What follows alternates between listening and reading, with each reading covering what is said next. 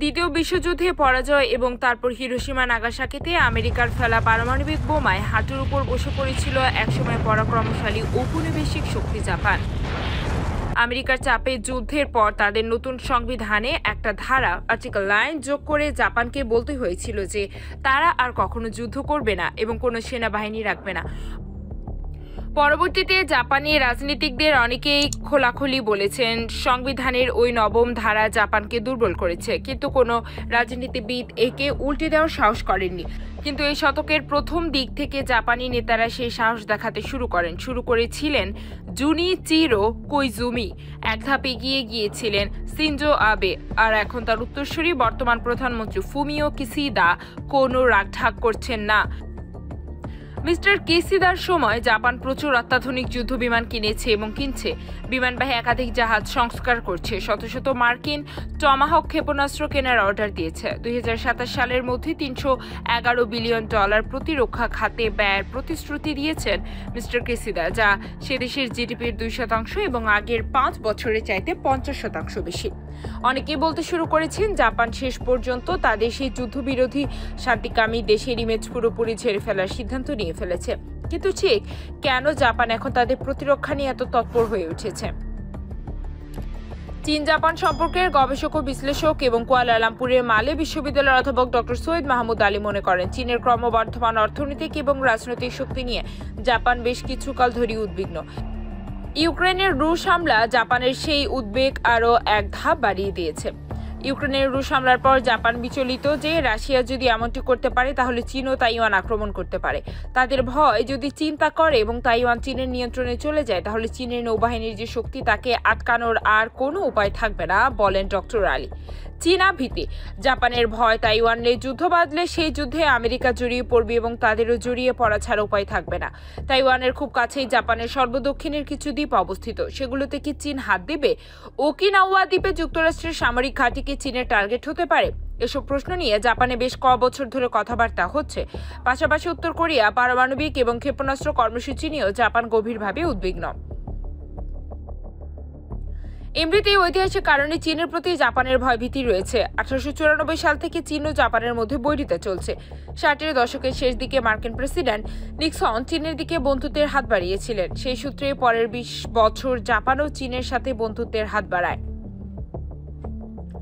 কিন্তু উনিশশো নিরানব্বই সাল থেকে যুক্তরাষ্ট্র চীনকে আবারও বৈরী ভাবাপন্ন দৃষ্টি নিয়ে দেখতে শুরু করলে জাপানও সেই পথ নেয়। দুই সালে সিনজো আবে ক্ষমতা নেওয়ার পর থেকে সেই বৈরিতা ভিন্ন মাত্রা পায়। বর্তমান প্রধানমন্ত্রী ফুমিও কিসিদা আরও কট্টরপন্থী অবস্থান নিয়েছেন। চীন প্রচণ্ড ক্ষুব্ধ হবে জেনেও তিনি এমনকি সম্প্রতি ন্যাটো সামরিক জোটকে টোকিওতে একটি মিশন খোলারও অনুমতি দিয়েছেন। নতুন করে জাপানের এই সামরিকীকরণ সে দেশের মানুষ কতটা সমর্থন করছে?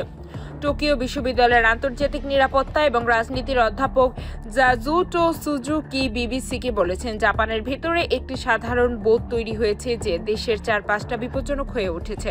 সে কারণে সাম্প্রতিক কিছু জনমত জরিপ বলছে দেশের সিংহভাগ মানুষ প্রতিরক্ষা জোরদার করার পক্ষে। নব্বই শতাংশ জাপান এখন যুক্তরাষ্ট্রের সাথে সামরিক সহযোগিতা আরও ঘনিষ্ঠ করার পক্ষে। একান্ন শতাংশ সংবিধানের নবম ধারা সংশোধনের পক্ষে। ফলে মিস্টার কিসিদা এবং তার দল এলটিপির উপর তেমন চাপ নেই। জাপানকে দিনকে দিন অস্ত্রে সজ্জিত করা হচ্ছে এবং ইন্দো প্যাসিফিক অঞ্চলে চীনকে সামরিক এবং অর্থনৈতিকভাবে আয়ত্তে রাখার আমেরিকার যে নীতি তা বাস্তবায়নে জাপান এখন প্রধান একটি ভূমিকা রাখছে। সৈয়দ মাহমুদ আলী বলেন, মিস্টার আবের উদ্যোগেই কোয়াড নামে চীনের বিরুদ্ধে একটি মিত্র কোয়ালিশন গড়ে তোলা হয়। সেই প্রচেষ্টা ক্রমে ব্যাপকভাবে ছড়িয়েছে এবং জাপানি তার নেতৃত্বে রয়েছে। বিশ্লেষকরা বলছেন, যুক্তরাষ্ট্র, জাপান এবং ভারত চাইছে বাংলাদেশ যেন বিশেষ করে বন্দর এবং অন্যান্য কৌশলগত গুরুত্বপূর্ণ অবকাঠামোতে বিনিয়োগের জন্য চীনের দ্বারস্থ না হয়।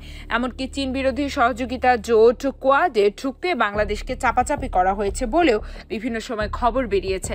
কেন বাংলাদেশকে পক্ষে টানার এই চেষ্টা? বাংলাদেশকে কেন এত গুরুত্ব দিচ্ছে জাপান বা আমেরিকা?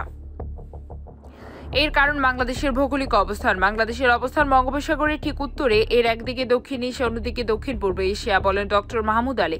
কিন্তু জাপান বা আমেরিকার মতো শক্তিধর ধনী দেশের কাছ থেকে এই বিশেষ নজরকে বাংলাদেশের স্বার্থের পক্ষে যাবে? অর্থনৈতিক বা কূটনৈতিক দর কষাকষিতে বাংলাদেশের সুবিধা হবে, নাকি বিপত্তি তৈরি করবে? জেনারেল মনিরুজ্জামান মনে করেন, কৌশলগত ভারসাম্য রক্ষার যে নীতি বাংলাদেশ বহুদিন ধরে অনুসরণ করছে, তা চ্যালেঞ্জের মুখে পড়েছে। আমরা এতদিন যে ধরনের ভারসাম্য রক্ষা করে চলছিলাম তা চাপের মুখে পড়েছে। দুদিক থেকে এমন সব প্রস্তাবনা আসছে, যেগুলোর সাথে যুক্ত হলে এক পক্ষে চলে যেতে হবে। কৌশলগত সেই স্বাধীনতা ধরে রাখতে এখন পর্যন্ত বাংলাদেশ চেষ্টা করে যাচ্ছে। তবে আমি সন্দিহান কতদিন আমরা তা পারব বলেন জেনারেল মনিরুজ্জামান। অবকাঠামোর জন্য বাংলাদেশের এখনও প্রচুর সহজলভ্য বিনিয়োগ প্রয়োজন। তৈরি পোশাক, অন্যান্য কিছু পণ্যের জন্য তাদের পশ্চিমা বাজার প্রয়োজন।